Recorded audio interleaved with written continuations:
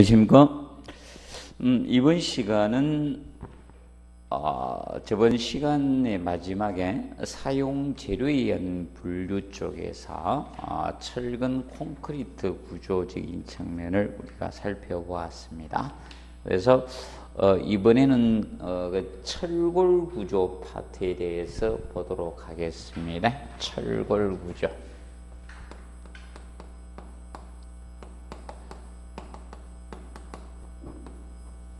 자, 이 철골 구조는 어, 보통 어, 보통 형강, 보통 형강이라고 나오죠. 형강. 형강은 여러 가지 단면 형상을 가지는 강제를 보통 형강이라고 합니다. 그래서 형강은 보통 여러분들이 보면 뭐 H 형강이나 대표적으로 뭐 I 형강, 뭐 D, Z 형강 이런 것들 종류가 형상을 가지는 강제를 우리가 형강이라고 합니다. 여러 가지 여러 가지 어, 이 단면 형상을 가지는 강제, 단면 형상을 어, 가지는 강제를 통틀어서 형강이라고 칭합니다. 형강. 그래서 알파벳 H 형상을 가지는 강제를 H 형강, 알파벳 I, 어? 또 디귿 형강이 이렇게 보통 명칭이 부여됩니다. 그래서 이 형강이나 어, 뭐 그래서 기본적으로 뭐 이렇게 생긴 H 형강 우리 주변에서 공사장에서 가장 많이 보는 게 이렇게 된 형강을 많이 보실 겁니다. 그래서 단면 형상이 알파벳 H처럼 생겼다 해서 쭉 길게 해서 이것을 보통 조립이나 뭐 용접 같은 거 해서 이렇게 볼트 조립해서 하는 것을 보통 형강이랬네. 그래서 형강이나 강판 등을 뭐 리벳이나 뭐 볼트, 뭐 용접이나 이런 것으로 구성하는 구조가 이 철골 구조라고 합니다. 그래서 이제 철골 구조는 뭐 다른 말로 강구조 이렇게도 칭합니다. 강제를 사용한다 해서 강구조 이렇게 칭하게 되는 게 철골 구조입니다. 그러면 철골 강제로 뼈대를 구성해서 조립한 구조가 철골 구조의 개념이라고 보시면 됩니다. 자, 그러면 철골 구조는 어떤 부분에 자, 문제점이 있고 좋은 점이 있는가 이런 걸 살펴보도록 하겠습니다. 그래서 뭐 다 공부하실 필요 없고 철골 구조하면 자, 조립을 합니다. 조립하다 보니까 자, 어떤 장점을 가질 수 있는가 하면 보통 현장에서 주변에 많이 보면 철근 콘크리트를 하면요. 작업이 많습니다. 보통 보면 뭐 철근 배근 해야 돼가지고 급푸지 만들어서 그다음에 콘크리트 타서 해서 일정 시간 양생도 시켜야 되고 공사 기간이 오래 걸립니다. 그런데 철골로 하면 어, 막 조립해 가다 보니까 굉장히 빠르게 작업을 할 수가 있다는 겁니다. 그래서 뭐 우리나라의 대표적으로 63 빌딩 옛날 지을 때 철골 구조로 지었거든요. 그리고 이제 대표적인 철골 구조가 9.11 테러로 붕괴된 무역센터 건물 있죠. 쌍둥이 빌딩. 그것이 철골 구조였습니다. 그래서 이제 철골 구조는 어, 창점적인 측면, 뭐 간단히 몇 가지만 해드릴게. 거기 있는 책에 있는 것보다 그냥 기본적으로 조금 알아야 될 것이 장점이 어떤 장점이 있는 게, 자, 이겁니다. 공사 기간을 갖다가 공사 기간 뭐 줄여서 공기라고 합니다. 공기, 공기. 그래서 보통 공사 기간은 보통 공사를 착공해서 준공까지 걸리는 시간을 보통 어, 공사 기간을 줄여서 공기라고 합니다. 그래서 이제 보통 공사 기간 단축을 공기 단축 이렇게 보통 이야기합니다. 그래서 공사 기간을 갖다가 단축할 수 있다는 겁니다. 단축할 수 있는 어, 그 특징을 가지고 있는 것이 바로 철골 구조의 개념의 대표적인 장점이라고 보시면 됩니다. 기억을 해 두시고, 그 다음에 이제 철골 구조는, 어, 보통 이겁니다. 적은 단면으로 큰 하중을 받을 수가 있습니다. 그래서 건물 전체의 무게를 줄일 수 있다는 겁니다. 그러면 철근 콘크리트는 어, 보통 단면이 철골 구조에 비해서 단면이 커야지 하중을 받아줍니다. 그렇기 때문에 보통 자기 전, 자기 몸무게를 이기기 위해서 자꾸 단면이 커져야 됩니다. 그래서 건물의 무게 굉장히 무겁습니다. 그래서 이제 자, 이 철골 구조가 이 철근 콘크리트 구조에 비해서 아파트 뼈대가 철근 콘크리트죠. 예, 구조 보다 건물 전체의 무게를 줄일 수 있습니다. 건물 이 전체의 중량을 줄일 수가 있습니다. 중량을 자 줄일 수가 있습니다. 줄일 수 있는 것이 특징입니다. 그래서 자중을 좀 줄일 수 있는 것이 자, 이 철골 구조의 특징이라고 보시면 되겠습니다. 자, 그리고 어 이제 얘는 이제 단점적인 측면이 제일 중요합니다. 음, 이 단점. 자, 단점적인 측면에서 우리가 살펴볼 것이 철골 구조는 자, 고열에 열에 약합니다. 그래서 보통 900도씨 이상의 하재 온도가 도달되면 강도가 제로가 됩니다. 그래서 내화성이 떨어져요. 그래서 비, 안일비자를 붙여서 비내화구조, 비내화적입니다. 불에 약합니다. 그래서 보통 내화성, 내화적이다 표현하는 것은 하재에 견딜 수 있는 성질을 보통 내화성이라고 합니다. 불에 견딜 수 있는 성질. 그런데 안일비자 비내화적인 구조가 됩니다. 그래서 별도로 내화 피복이 필요합니다. 철골 구조를 하게 되면 내화 피복이 필요한 것이 보통 이 철골 구조의 단점이라고 보시면 됩니다. 자, 그리고 자, 녹슬기가 쉽습니다. 대기 중에 방참에 녹슬기 쉽습니다. 녹이 있습니다. 그래서 이 녹슬기 쉽기 때문에 무엇을 해주는가 하면 녹막이칠을 해야 됩니다. 주기적으로. 그래서 녹막이칠이 필요합니다. 녹막이칠. 그래서 보통 보통 구조 뭐 남성 여성으로 따져서 구조로 따지면 남성은 철근 콘크리트 구조다. 그래서 남성들은 운동하면 보통 몸매를 어떻게 우람하게 만들려고 막 운동을 하고 여성분들은 라인 위주로 하잖아요. 그래서 여성적인 구조가 철근 구조고 남성적인 구조는 철근 콘크리트 구조다 이렇게 보시면 됩니다. 그래서 보통 그런데 유지 관리비가 보통 남성이 많이 들어갑니까? 여성이 많이 들어갑니까? 여성분들 유지 관리비 많이 써죠. 남성들은 마시는데 많이 써요. 그래서 이 농약의 질을 많이 해야 됩니다. 결과적으로 무엇이 필요한가 하면 유지 관리비가 많이 들어간다는 거예요. 유지 관리비가 아, 자 많이 들어갑니다. 특징이 그래서 어, 기본적으로 아파트 구조체가 철근 콘크리트로 가는 이유도 유지 관리비가 제일 적어요. 그래서 그 구조로 쓸 수밖에 없는. 그러면 나무 구조, 목 구조 유지 관리비 굉장히 많이 들어갑니다. 그래서 여러분들 뭐 중요한 뭐 사찰 같은 거 있죠? 이거 유지 관리 문화재청에서 유지 관리한다 비용 많이 들어갑니다. 의외적으로. 그래서 유지 관리비가 제일 적게 들어가는 게 철근 콘크리트 구조예요. 그래서 아파트 구조가 그걸로 됩니다. 왜 보시면 되고, 그 다음에 이제, 자, 이 철골 구조의 특징이, 자, 이겁니다. 자굴. 굴절이 돼요. 자굴이 발생이 됩니다.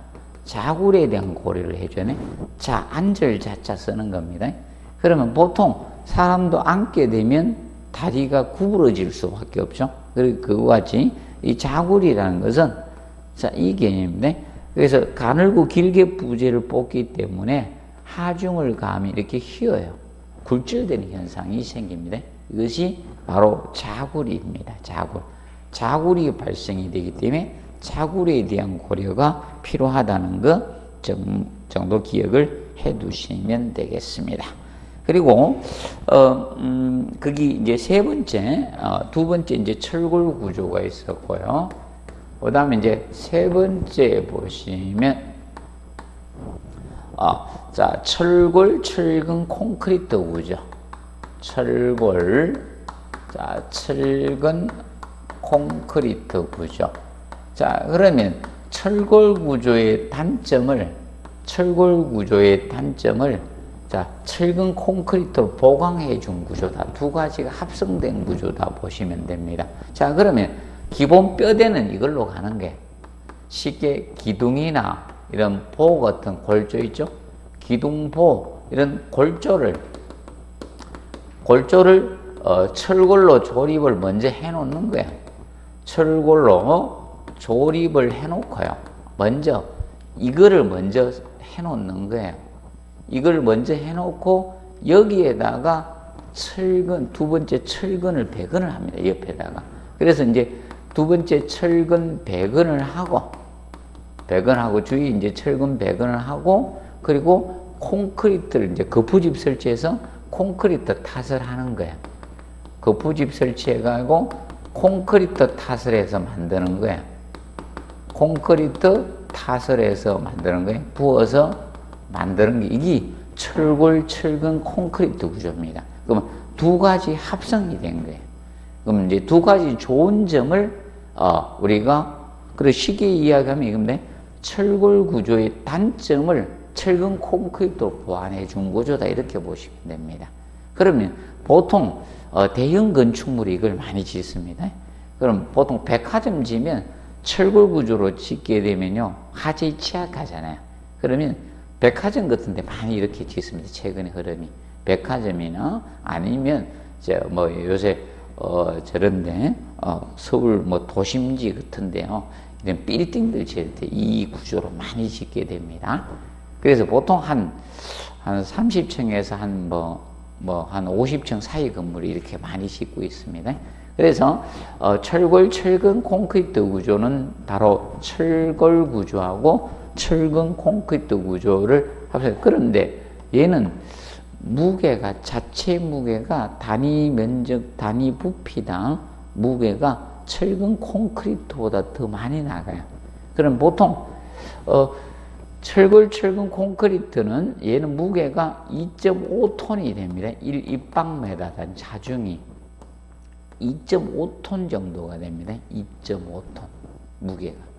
그래서 이제 철근 콘크리트가 얼마가 2.4톤입니다. 철근 콘크리트 철근 콘크리트 구조는 1 입방메다 1세제곱미터가 부피로 2.4톤인데 철골 철근 콘크리트 1 입방메다당 약 2.5톤 정도를 유지하고 있습니다. 그렇게 보시면 됩니다. 2.5톤. 그래서 철골 뼈대가 들어가다 보니까 0.1톤 정도 더 증가된다. 이렇게 보시면 됩니다. 그럼 얘는, 자, 이거 보면, 그러면 콘크리트 피복해 주니까 얘는 내하 구조가 되는 거예요. 내하. 내하. 하재 견딜 수 있는 성질은 좋다는 거예요. 그리고 내구. 오랫동안 목설지 않고 견딜 수도 있는 내구적인 구조도 되는 겁니다. 수명 길게 갈 수도 있는 겁니다. 그리고 내진 구조도 되고 다 됩니다. 내진 다 됩니다. 강력한 구조체라고 보시면 된다. 그러면 보통 이, 이 철골 철근 콘크리트로 지어진 건축물이 지진에 강하다 이렇게 보시면 됩니다. 네. 그래서 이런 건축물이 어, 우선 구조라고 보시면 되겠습니다. 뭐 간략히 한번 봐두시고요. 얘는 1회 시험 때 한 번 나왔었습니다. 1회 시험 때 고르는 거. 그럼 얘가 뭔가 하면 자 이거 됩니다. 철골 콘크리트 부어 넣으면요. 콘크리트는 굳으면 어떻게 됩니까? 굳으면 못 움직이죠. 그래서 접합부가 일체화가 되는 일체식 구조입니다. 얘가. 이거는 일체식 구조가 되는 거면 구성 양식에 따라서 접합부가 일체화가 된 일체식 구조예요.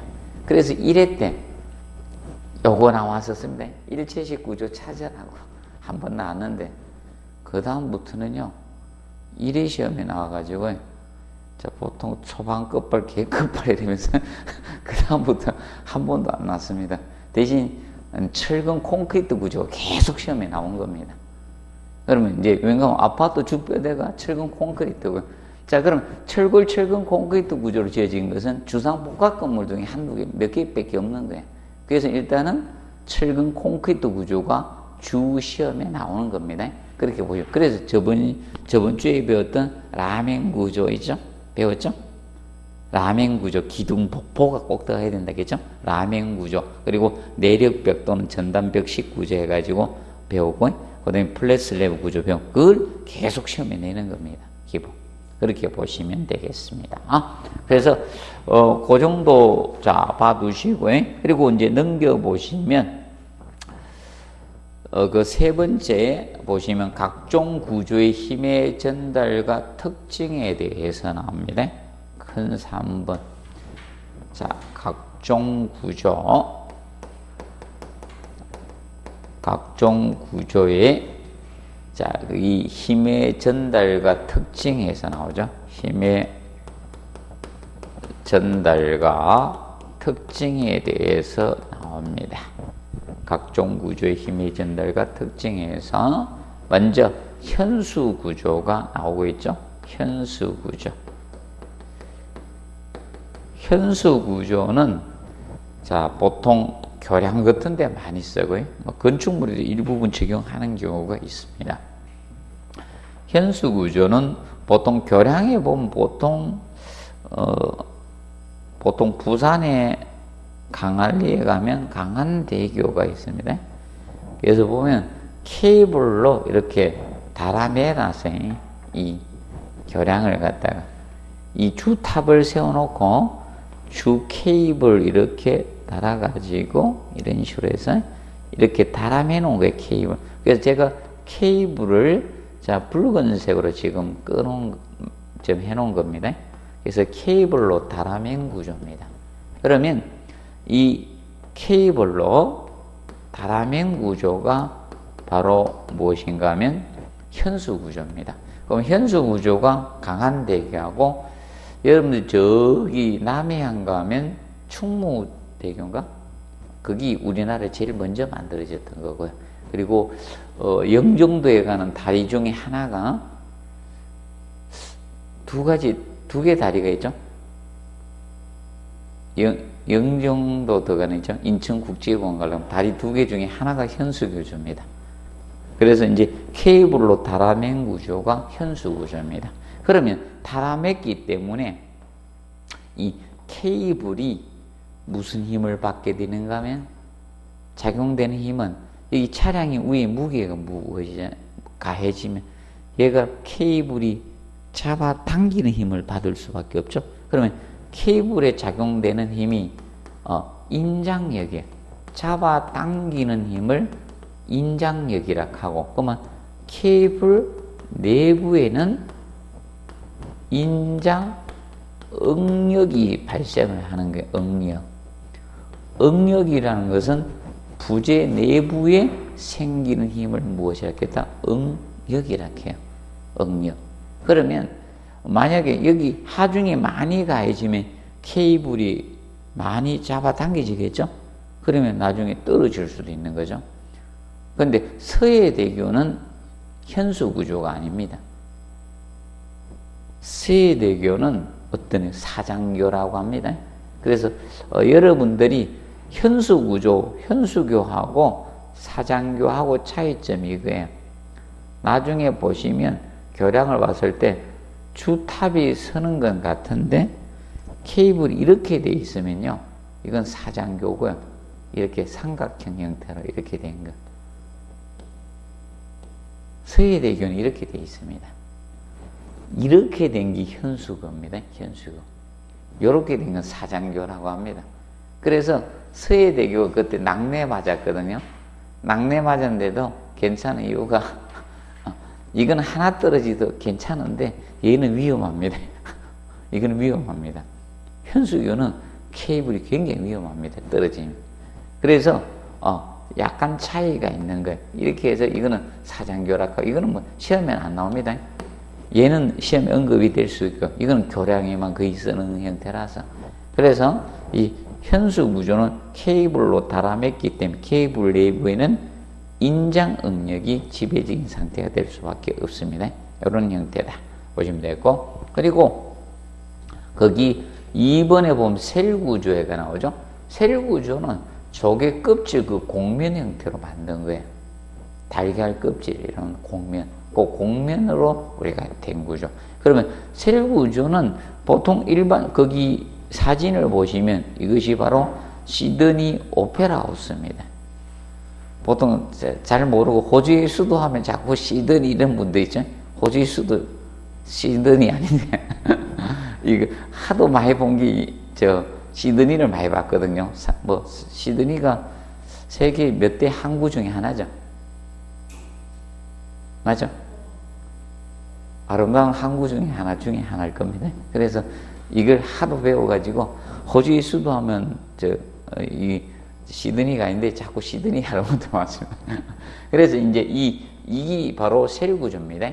그러면 셀구조 사람이 이겁니다. 원래 사람이 동일한 힘을 딱 가해가지고는 달걀 생달걀을 못 깬답니다. 똑같은 힘을 가해주면 그런데 어느 한쪽 힘을 세게 주기 때문에요 달걀이 깨지는 겁니다.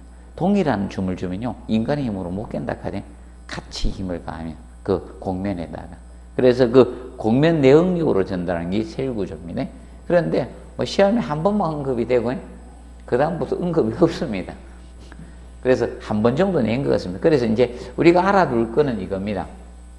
이 셀구조는 어, 보통 그 공면이죠. 이 면내 응력으로 그래서 보통 힘을 다 전달한다라고 어, 보시면 됩니다. 간단히 한번 알아두시고 그리고 거기 이제 3번에 입체 트러스 구조 있죠. 얘는 알아두셔야 됩니다. 입체 트러스 구조. 그럼 그냥 트러스 구조든 입체 트러스 구조든 삼각형으로 짜 맞춘 거거든요. 자, 그러면 보통 트러스 구조는 입체 트러스 구조하고의 차이점은 뭔가 입체 트러스 구조는 짜 맞추는데 그러면 철제나 목재를 삼각형으로 짜 맞추는 구조입니다. 그러면 2차원적이면 어, 어, 이거예요. 2차원적임. 2차원으로 짜 맞추는 거고요. 이거는 3차원으로 짜 맞추는 입체적으로. 그래서 짜 맞추는데 삼각형으로 짜 맞추는데 2차원적으로 짜 맞추느냐 3차원적으로 짜 맞추냐 이겁니다. 그러면 거기 자 페이지 거기 아주 우측 페이지 보시면 그, 그 사진 보시면 얘는 3차원적이잖아요. 위에 그림도 있고 밑에 있죠? 밑에 사진도 있습니다. 이거는 3차원적으로 짜 맞췄다는 게 지붕틀, 지붕틀에 많이 쓰는 거예요. 그러면 일반 트러스 구조는 이런 거예요. 지붕틀 같이. 그냥 이렇게, 이, 이렇게 2차원적으로만 짜 맞춘 거예요. 이렇게. 이런 식으로만.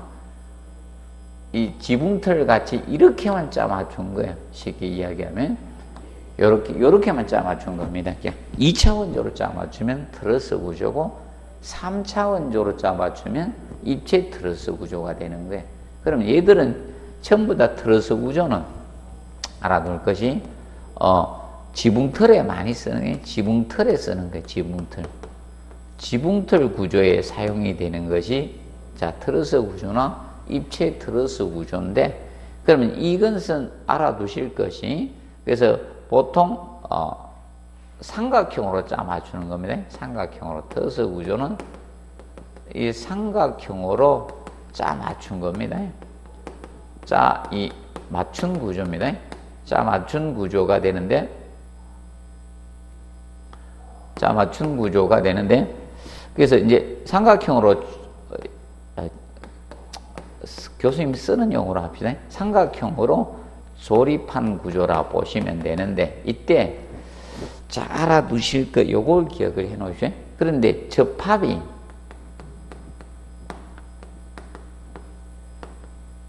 자, 이 트러스 구조는 접합을 어떻게 해 놓는가 하면, 어, 핀으로 해 놨습니다. 그래서 이렇게 꼽아나가 이렇게 움직일 수 있도록 해놨습니다. 그것을 갖다가 핀 접합이라 해요. 그래서 간혹 가다가 이제 나중에 보실 분들이 있을 분들은 여기 이 구조가 있는가 모르겠네요. 서울에는 보면 자주 보이는데, 그래서 이렇게 꼽아놨습니다. 움직일 수 있도록. 그래서 이걸 갖다가 핀 접합이라 해요. 접합을 어, 트러스 구조의 접합법을 핀 접합이라 합니다. 핀 접합. 핀 접합. 그래서 이제 요 개념 알아두시고 요거 가지고 한 번 출제가 되었었습니다. 그리고 어, 공부를 해 두실 때 이제 저겁니다.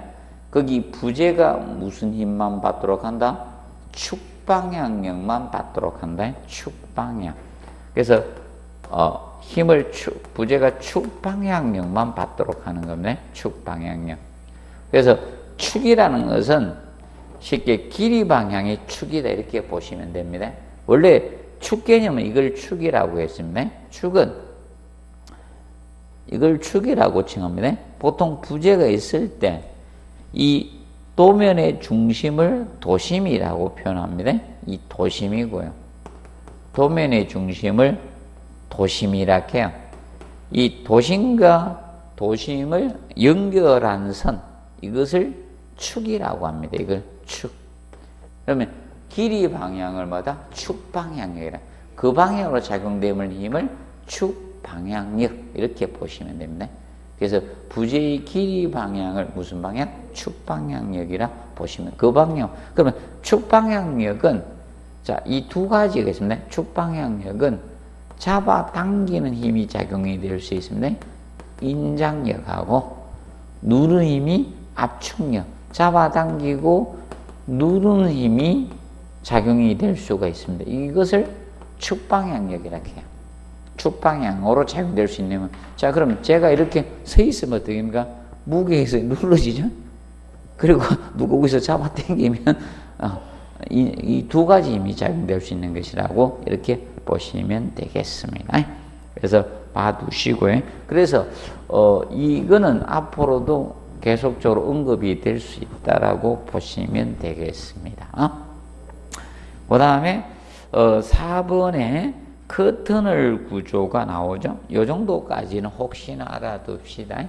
4번에 커튼월 구조 커튼월 구조 원래 커튼월이란 것은 커튼의 역할을 하는 월벽이다. 어, 월은 사실상 벽이에요. 영어 월은 이 벽을 나타내는 게 커튼과 같은 벽이다 이겁니다.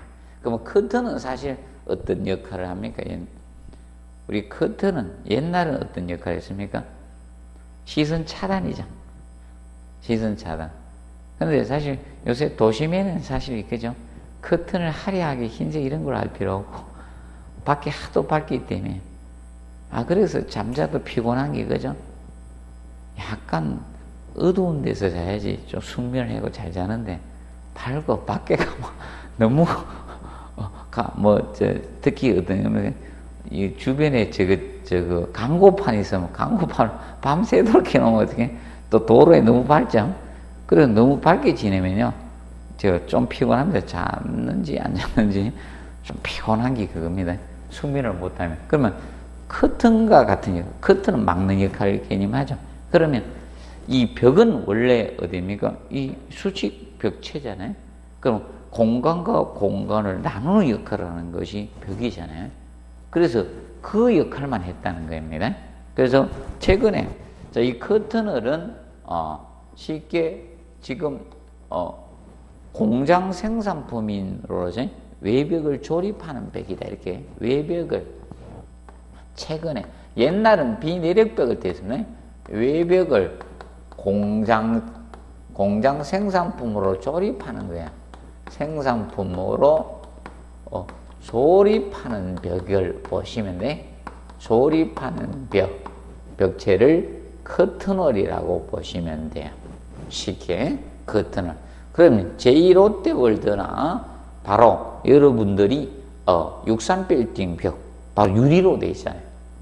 하여튼 종류는 많습니다. 유리가 될 수도 있고 뭐, 뭐 ALC가 될 수도 있고 종류는 많습니다. 여러 가지로. 공장에 생산한 제품 가지고 벽을 조립하는 벽을 커튼월이라고 합니다. 커튼. 그러면 커튼월이 도입되게 된 배경은 이겁니다. 외벽을 콘크리트나 벽돌로 짓게 되면 무게가 어떻게? 너무 많이 나가요. 건물이 고층화되다 보니까 건물의 무게를 줄이기 위해서 도입한 제도다 이렇게 보시면 됩니다. 그런데 제일 중요한 것은 이겁니다. 얘는 외벽 공 조립하는데 이 커튼을 구조는 자 내력벽이 아니라는 거예요. 아닐 비자 써서 비내력벽이라는 거야. 비내력벽. 그래서 상부에 건물의 자, 자중이나 있죠. 건물의 고정하중이나 하라중 같은 걸 분담하지 않습니다. 그래서 이 내력벽에 속한다는 것. 그래서 상부하중을 상부하장 하중을 분담하지 않는다는 거예요. 하중을 분담하지 않습니다. 분담하지 않는 벽이에요. 그래서 상부하중을 분담하지 않습니다. 그냥 그런데 여러분들이 주의할 것은 현행 아파트 있죠. 아파트의 벽은 내력벽으로 만들어집니다. 철근 콘크리트 내력벽으로 전단벽으로 만들어져서 상부하중을 분담할 수 있는 겁니다. 그렇기 때문에 벽을 함부로 철거 해체할 수가 없는 거예요. 그래서 유일하게 발코니 쪽이죠. 아, 여름용으로 베란다, 확장이죠. 거기는 고기 내력벽이 아니거든요. 그러면 지하 주차장에 가면 벽이 이렇게 서 있죠. 그 벽은 내력벽인 겁니다. 그러면 그 벽이 최상층까지 연속해서 쭉 올라가는 겁니다. 그 벽은 함부로 손대면 안 되는 거예요. 위험합니다. 그렇게 보시면 되겠습니다. 그래서 뭐 이 정도 우리가 조금 정리를 해 놓으시기 바랍니다. 그리고 나머지는 그냥 넘겨주시고, 그 다음에 네 번째 큰 4번 보시면 시공 가정입니다. 시공 가정에. 자, 시공 가정에 의한 분류가 나옵니다. 시공 가정에 의한 분류를 보시면 첫 번째 습식 구조가 나옵니다. 습식. 습식 구조하고 두 번째 근식 구조. 두 가지 차이점은 이거라고 보면 돼. 두 가지 차이점은 물의 사용 여부라고 보시면 됩니다. 그럼 물을 사용하는 것은 무슨 구조? 습식 구조. 물을 사용하지 않는 것이 무엇이다? 근식 구조 보시면 됩니다. 간단히 물의 사용 여부에 따라서 두 가지를 나눈 거예요. 물을 사용하네. 물의 사용 여부 가지고 다루는데 그러면 섭식 구조하고 근식 구조는 예를 들어서 보도록 하시면 그러면 콘크리트는 시멘트 제품 들어가면 물로 비벼야 됩니까? 안 비벼야 됩니까? 비벼야 됩니다. 그러면 어, 이, 것이 섭식 구조가 되네. 철근 콘크리트 구조나 아까 배웠던 철골 철근 콘크리트 구조나 콘크리트가 들어가면 다 무엇이다? 습식 구조예요. 습식 구조. 그러면 벽돌 구조 벽돌 구조. 그럼 벽돌은 뭘로 쌓아야 되는가? 모르타르로 쌓아야 돼. 시멘트 모터. 그럼 물로 비벼줘야 되거든요. 그러면 쉽게 모르면 이거 생각하면 돼. 콘크리트나 모르타르, 시멘트 제품이 들어가면 물로 반죽을 해줘야 돼요. 그런 것들은 무슨 구조다? 습식 구조다. 이렇게 보시면 됩니다. 그러면 벽돌 구조나 이런 블록 구조 같은 이런 것들 등등 이런 게 여기에 들어가는 거예요. 그러면 근식 구조는 물을 사용하지 않기 때문에 나무 구조, 나무 구조나 철골 구조 이런 것들이 아, 대표적으로 근식 구조다 이렇게 보시면 됩니다. 그러면 어, 주의할 점은 이거죠.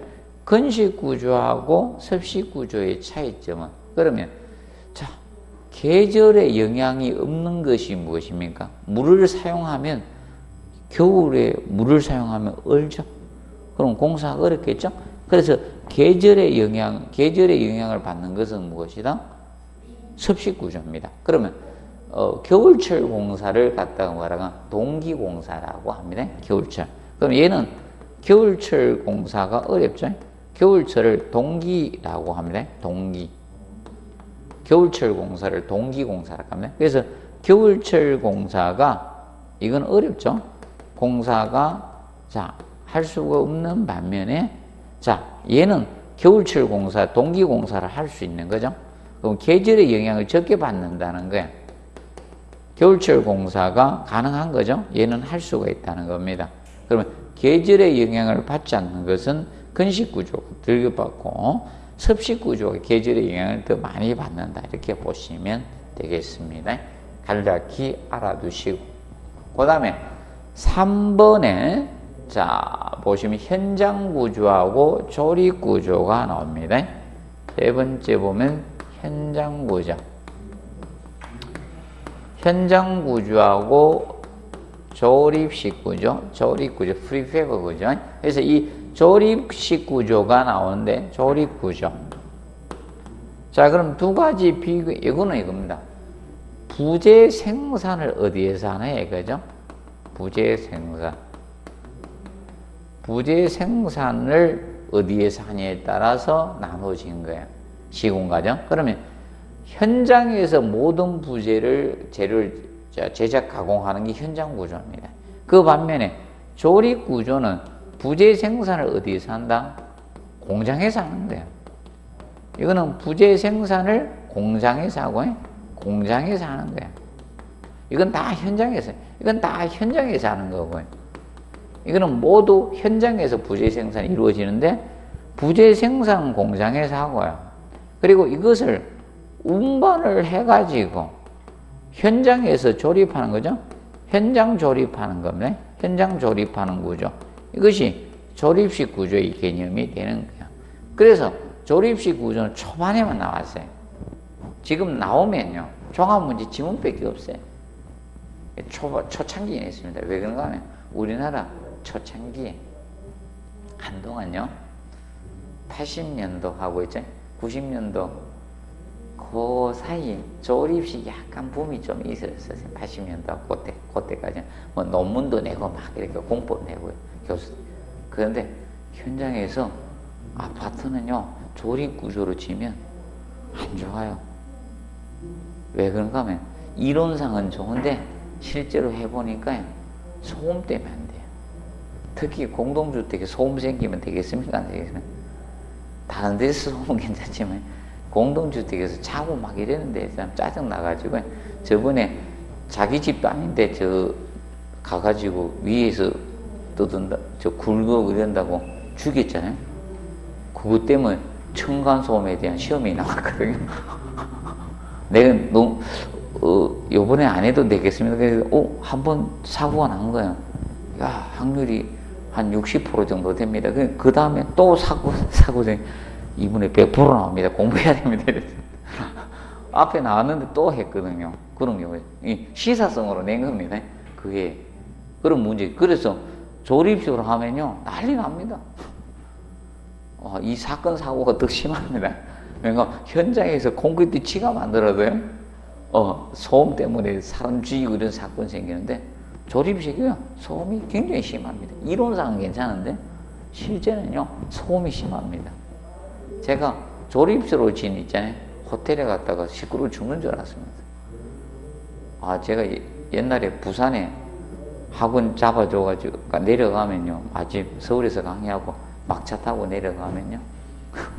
어, 거기 4시, 4시인가 4시 반에 도착하거든요. 부산역 새마을로 타고 내려가면요.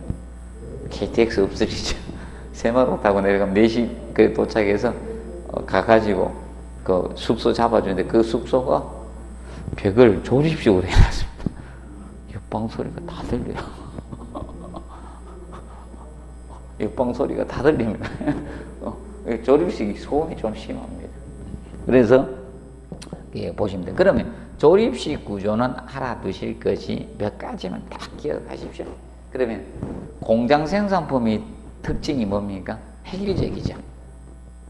소품종 대량 생산으로 가잖아요. 그렇기 때문에 여러분들이 기본적으로 거의 알 수 있는 내용들이거든요. 거의 뭐 한국에 살고 있으면 한국 어, 말 어, 글씨만 알면 거의 맞출 수 있을 정도로 내는데 몇 가지만 딱 기억하십시오. 다른 거 필요 없고요. 그러면 얘는 현장에서 조립하기 때문에 자 이런 특성을 알아두네. 접합부 접합부 일치하는 어렵습니다. 조립하기 때문에 접합부 일치하는 어렵습니다. 부재를 접합부로 일치시킬 수는 없습니다. 조립하기 때문에. 자, 그리고 어떤 기준, 접합부 일치하는 어렵다. 일치하는 없습니다. 일치, 어, 어 뭐, 잘못 썼습니다. 문장을 이상하게 썼네. 접합부 일치하가 어렵다. 문장을 이상하게 쓰네. 어, 접합부 일치하가 어렵다. 자, 그리고 알아두실 것이 자, 이 조립식 구는 다양한 다양한 외형 추구가 추구가 곤란하다는 거적인 측면 이 두 가지는 좀 알아두시면 됩니다. 그러면 여러분들이 교복 입는 시절 생각하시면 됩니다. 교복 입으면 다양성이 없죠. 군복 입고 그래. 군복 입고 교복 입으면 찾기가 힘듭니다. 와, 한꺼번에 확 나오면요. 찾기 힘듭니다. 안 그래도 저희 부모님이 하고 저희 가족들이 저 훈련소에서 찾아왔는데 저를 못 찾아오더라고요.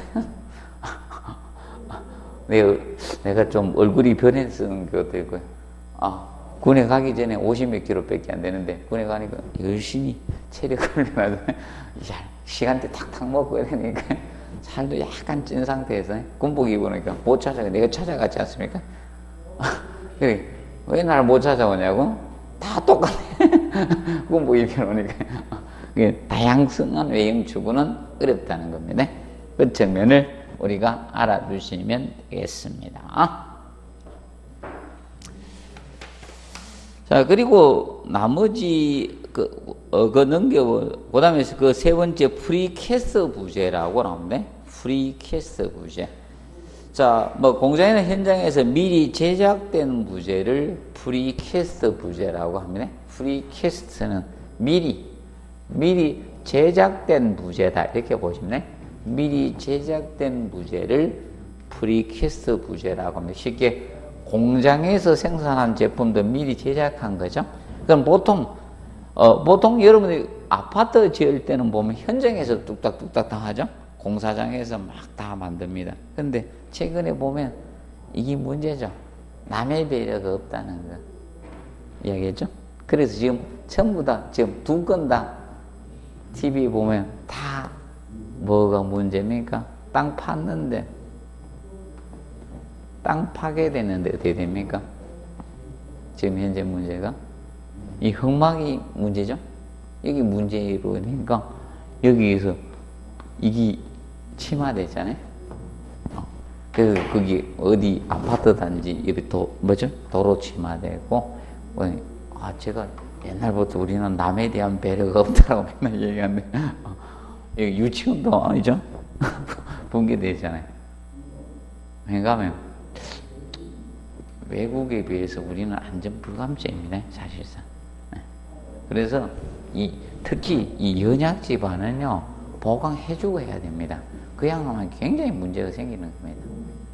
그럼 만약에 여기도 유치원 같은 경우는요 이렇게 안카하면 많이 심어야 돼요. 굉장히 길게 해야 됩니다. 심어주든지 아니면 여기에 보강을 해가지고 보강을 해가지고 튼튼하게 해주고 해줘야 됩니다. 안 하면 이런 문제가 생깁니다. 그리고 어, 다른 인접 대지나 건축물에 대한 보강을 미리 해주고 처리를 해야 되는데 비용이 많이 들어가니까 그걸 한다 안 한다? 안 한다는 겁니다. 그리고 이거 문제는 심각한 것이 뭔가 우리나라 국책 사업이나 공, 공기업들이 할 때도요 보강을 안 해준다는 거예요. 쉽게 지하철 공사 같은 거 하죠. 그럼 그런 거 하면 어떻게 해야 됩니까? 충분히 보강해주고 해야 되잖아요. 분명히 자, 원인은 압니다. 자기들 공사 때문에 된 거 분명히 아는데 내가 오리발 내밉니다. 인과관계 설명하라해요. 그거는 인과관계 설명은요. 내가 보기엔 일반 주민이 어떻게 인과관계를 다 설명해요. 맞죠? 그럼 공사자가 인간 안 그렇다는 걸 증명을 해야 됩니다. 그렇게 가야 됩니다. 법원이. 우리나라는 문제가 이거죠. 약자한테 설명하라 하면 됩니까, 그걸? 맞죠? 돈도 없는데, 지식도 없는데, 뭘 설명하라는 겁니까? 법이 있는 사람 편으로 만들어져 있습니다, 지금. 음. 판사도 다 그래 판결하잖아요. 있는 인간 위주로 판결을 해주지 않습니까? 이 문제인 거예요. 그래서 이런 공사도 실제 문제입니다. 음. 그래서, 어, 봐두시고, 그 다음에 이제 재방지 성능상 분류해가지고 나오죠. 그러면 내진 구조 나오는데 재방지 성능상 내진 구조. 자, 내진 구조는 이걸 기억해요. 내진은 지진이나 진동 같은데 견딜 수 있는 구조를 내진 구조라 돼. 내진 구조. 그러면 여러분들 이런 것들은 내진 구조에 속합니다. 예를 들어서 자 일체식 구조들, 일체식 구조, 일체식 구조나 가구식 철골 구조나 목 구조 같은 것은 내진 구조 해당이 돼요. 이건 돼요. 일체식 구조나 가구식 구조는 내진 구조에 해당이 됩니다. 그래서 여러분들 이겁니다. 경주에 지진이 났을 때는요, 담장이나 기왓장 흘러내린 거 이런 게 다예요.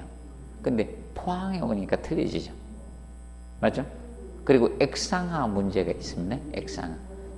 액상화가 생기면요, 집안인데 집안의 액체처럼 거동하는 거 움직이는 거예요. 그럼 액상화는 보통 매립지가 문제예요. 매립지. 절대 땅을 사면요. 꼭 보고 사야 돼요. 가을 뭐였는가 변천사를. 그래서 안 좋습니다. 매립지. 여러분들 꼭 명심하십시오. 땅 사가 집 지락하면 매립지 사면 안 됩니다. 흔들어 버리면 난리 나는 겁니다. 그래서 홋카이도 가죠? 지진한 거. 미리 비가 온 상태에서 물이 먹고 있는 상태에서 흔들어 보니까 확 흘러내리는 겁니다. 액상화 있는 상태. 액체처럼 움직이 버리니까 흘러내리는 겁니다. 그래서 집을 지을 때 꼭 명심하십시오. 제가 그래서 옛날 제 강의 시작하면서 계속 이렇게 이야기했습니다. 아파트에 살면요. 3층까지는 남에게 양보를 하세요. 저는 강의 시작하면서 항상 이야기했습니다. 어, 어려서부터 3층 어, 아파트 딱 있으면 미리 이야기하면 제가 이야기는 이런데 아파트를 어디 자 이겁니다. 밑에서 3층까지 남에게 양보하시고 그리고 척벽 라인 있죠. 척벽 라인 양쪽에 척벽 라인 이것도 남에게 양보하세요. 그리고 이 조만권 좋다는 위에 있죠. 맞죠? 이것도 남에게 양보하세요. 내가 땅, 어, 명심하세요. 이거 양보하시고, 뭐, 어디 놀러 갔습니까? 전망 좋은 데 갔어요? 아, 전망 좋은 거는 이겁니다. 집에 혼자 있는 사람이 있죠. 다 출근하고 계속 반복적인 일을 하는 한 분이 집에 있으면요, 우울증 걸려요. 전망 좋으면. 명심하세요. 전망이 좋으면. 그럼 간혹가다 이러는데, 전망이 너무 좋으니까, 내가 왜 살지? 이러면서 한번 뛰어내려 볼까? 이런 생각도 하고 이런답니다. 우울증입니다, 도로. 너무 팍 튀면 안 좋아요. 몰라, 그게 풍수지리학적으로 맞는 것 같아요. 어, 제가 제일 처음에 신혼 때 괜히 전망 좋은 데를 가가지고 우리 와이프 저를 많이 끌었어요. 그래가지고 아 풍수 지리학을 강의하신 분이 강의를 딱 하대 전망이 너무 좋으면 안 된다고 막 쭉 얘기를 들어서 그래 다음에 이사 갈 때 전망을 조금 줄인 데 갔어요. 그러니까 옆에 있잖아요. 아주머니도 많이 사귀고 나를 별로 안 끌었습니다. 그것도 있습니다. 풍수지리학처럼. 그래서 이런 데 빼고 여기에 사셔야 됩니다. 그래서 내가 농가가 옛날부터 이야기했는데 그래서 우면산 산사태 했을 때 밑에 다 쳤잖아요. 아, 그리고 그때 학생들이 할때 와, 선생님 이야기 딱 맞아 떨어지네. 그, 그리고 필로티 구조 사지 말라고 포항 지진이 되죠? 필로티 흔들었고요. 내가, 내가 이야기한 게 다 그대로 됩니다. 그래서 이것도 흑막이도 내가 맨날 이야기했거든요. 보강해주고 해야 되는데. 그 이제 사건, 사고 막 터지는 겁니다. 자, 그래서 이제 내진 구조는 이걸 기억하시고, 그런데 주의할 점은 이겁니다. 내진 구조는 이런 것도 내진. 근데 이건 아니에요. 조적식 구조. 이건 내진 구조가 아닙니다. 조적식. 자, 조적식은 이 벽돌 구조죠. 벽돌 구조. 이런 블록 구조,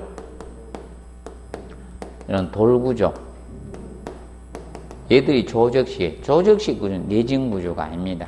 그래서 조적식 구조는 위험합니다. 그래서 될 수 있으면 조직식 구조는 안 좋습니다. 어? 그리고 재방지 그래서 이제 내하 구조 하재에 견딜 수 있는 구조가 내하 구조입니다. 하재 장시간 하재에 견딜 수 있는 구조를 내하 구조라고 합니다. 뭐 이 파트는 내하 구조하고 어, 방하 구조는 뭐 다음에 하도록 하겠습니다. 그래서 이 파트는 아직 하지 마세요. 자 그리고 어, 잠깐 휴식하고 어, 이제 2장의 기초구조 파트 수업 들어가도록 하겠습니다. 2장 파트 보시면 기초구조는 들어가도록 합니다.